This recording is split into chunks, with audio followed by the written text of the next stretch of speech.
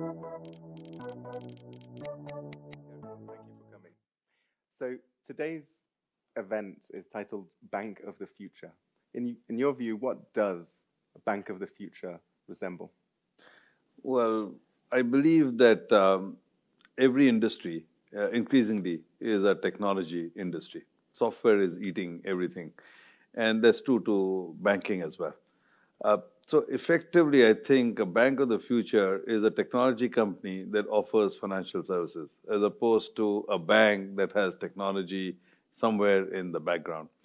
And the reason this is important is because uh, technology is changing the customer experience in every single facet of our life. Exactly as uh, your smartphone allow and your apps allow you to get music differently or buy something differently or get a cab differently it allows you to fulfill your financial expectations differently. And frankly, um, in the future, I think you'll get to a stage where you will not even know that you're acquiring financial services. I call it making the bank invisible. Mm.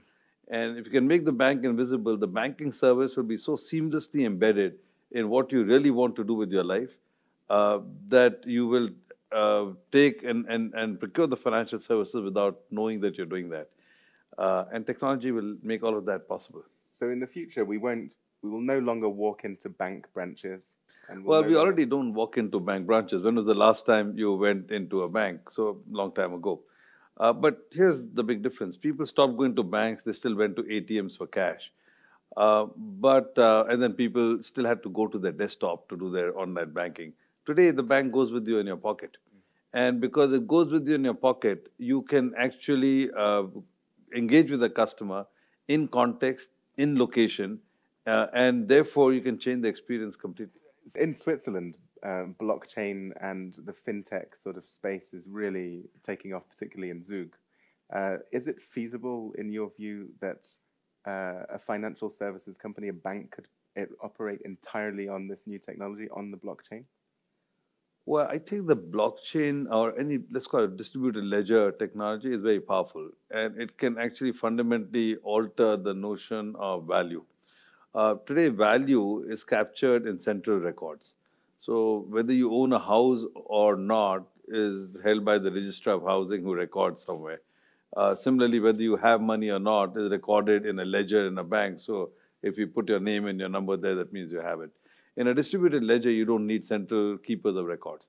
Um, everybody knows what everybody owns. And so the notion of value changes. You don't need record keepers and central hubs. Uh, and I think you can get there. So if you get there, it will fundamentally change the nature of many institutions, stock exchanges, uh, registrars, but also banks. Uh, but yes, it is possible in the future to be a completely amorphous entity and still provide you know, fundamentals of banking will not change. You still need somewhere to save your money. Uh, you need to move the money around, uh, and you need to put the money to work. I think those fundamentals will exist, but how those fundamentals get achieved, I think that can be transformed with technologies like blockchain. And many people say that trust is the foremost important thing when it comes to uh, transactions, that you trust the provider, you trust the middleman. If you're building a bank that is invisible, um, can someone trust something they can't see? Is that trust still an important? That's a really good question, and something that we are trying to grapple with. How do you continue to maintain brand relevance uh, if you are not in the customer's face the whole time? Uh, but if you think about um, the Intel chip, uh, the chip is inside the computer. You trust the chip to work. You don't necessarily see it. Nevertheless, Intel needed to create a brand, and so they focused on uh, putting a sticker there which said Intel inside, uh, just to remind you that Intel is somewhere in there. Now, how do you get the balance between being seamless in a customer's life, but at the same time retaining brand resonance and brand uh, uh context? Uh, that's not an easy balance, and we're still working at how, uh, making sure we can achieve that. In terms of taking a shift now onto away from sort of banking of the future back to traditional financial services, what, how would DBS position itself in, uh, in, in its message, maybe, to the mid-sized companies in Europe that are exporting into Asia? What would be your message for them, and how, how would you propose to, to position yourself? Well, you know, we realized some time ago, actually, one of the, the outcomes of the financial crisis was that a lot of companies, even the, the biggest companies in the world, uh, began to recognize that sometimes it is not sensible to put all your eggs in one basket and have only one global banking partner. Uh, in fact, um, it struck me then because several global treasurers came through Singapore and told me that at the senior most levels, they're taking a decision to look for an Asian banking partner. Uh, and that uh, allowed us to build a value proposition to service these kinds of companies, be the partner who can bring Asia to them. Now, what does that mean for a SME or frankly even a large company in Europe? You need a banking partner who can connect you into the Asian systems, uh, who can find you in turn partnerships, who can help you with your receivables, your payables, your distribution points, uh, who can help you with raising capital. Uh, and you know, for all of these kinds of companies, DBS uh, is a unique partner. We're obviously a, a very strong and trusted brand. Uh, we're one of the strongest banks in the world. We've been rated the safest bank in Asia for 10 years. Uh, we are a high-performing bank with 30% owned by Temasek, uh, which is which is very good credentials. But more important, uh, we have 200,000 corporate clients all over Asia. We go deep into the local markets. We have 10 million consumer clients all over Asia. So we can bring a lot of network externalities to the benefit of companies who want to come into Asia. Uh, we, uh, whether it's M&A, whether it's partnerships, uh, we can find deals which other global banks can't. And if you are looking at it from an individual standpoint, we can find investment opportunities in Asia, which again sometimes the globals miss because we operate below the, the, the level at which they sometimes operate. Mm, okay. So you go beyond really being a sort of bank that uh, that's almost invisible to helping the companies in Europe to engage, connect, and find their partners in in in the parts of the world where you've been so successful. Yes, and the strategy is proving successful, particularly in areas like you say cash management. So for a lot of small companies, managing Asian uh, supply chains is not easy, and managing Asian distribution is not easy. You got to deal with sales into Indonesia or Vietnam or Philippines. You have currency problems, you have exchange control problems, you have regulatory challenges. You got to figure how you bring the money out. You got to figure how you make the payments. Uh, a bank like us is extremely helpful in making sure you get efficiencies in the end-to-end process and reach markets that are not easy for you to reach otherwise.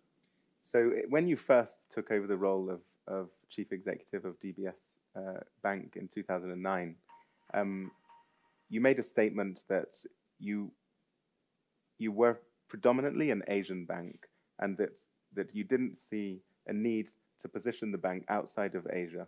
Uh, that, that what would be more sensible would be to keep it all focused and centered on the location and region that you're at. Do you are we at a different stage now? Are you thinking that maybe DBS might begin to uh, extend into mature markets like Europe? No, actually, our, our, fundamental premise hasn't changed. We think our core competency is in Asia. We know Asia well. Uh, we also think that the big opportunities continue to be in Asia. Uh, even ex-Japan, Asia is today 30, 35% of global GDP, uh, and it grows at 5 or 6% real, 7 or 8% nominal. So it's a large pool uh, it's a fast-growing pool, and it's an area where we know how to do business. So it just seems to me that when most people in the world are allocating capital to Asia, uh, it would be ironic for us to allocate capital away from Asia.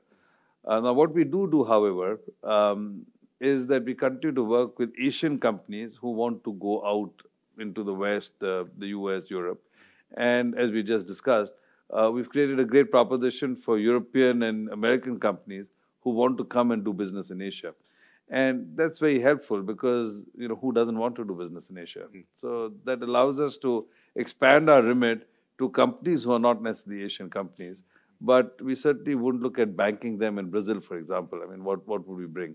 Uh, but as those companies want to do business in Asia, we think we are a natural partner. And would you would you position yourself here? I mean, would you come out and actually put DBS make it visible in Europe?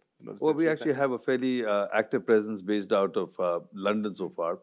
Uh, and uh, we cover most of continental Europe from there. It's, we've actually doubled or tripled our presence and the business.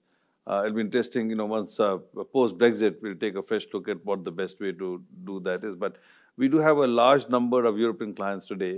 uh, that we built in the last decade uh, on the value proposition I just spoke of. Excellent. Well, we're very pleased to have you here this evening. Thank you again for coming. Very happy to do this. Thank you, Piyush.